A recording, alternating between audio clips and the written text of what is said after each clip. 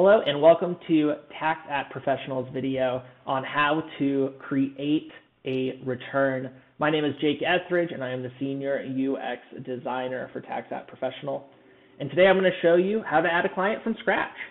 So as you can see here on my screen, I am in an evaluation version of the upcoming product.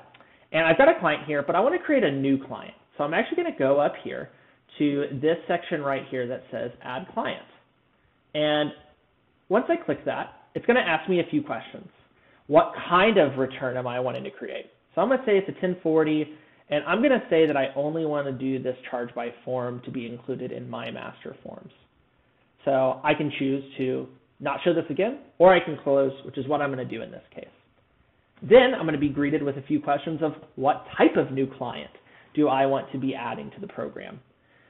You can see a few options here, but I think I'm going to go with adding a brand new client from scratch. So I hit OK, and now I'm greeted with this screen of inputting some basic information about my client.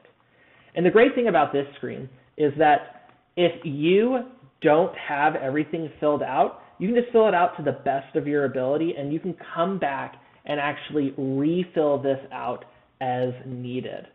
So I'm going to say that this is all I want to do right now. There's a bunch of other information here that I know I'm going to get to, but right now I feel okay with this. I just want to create this return.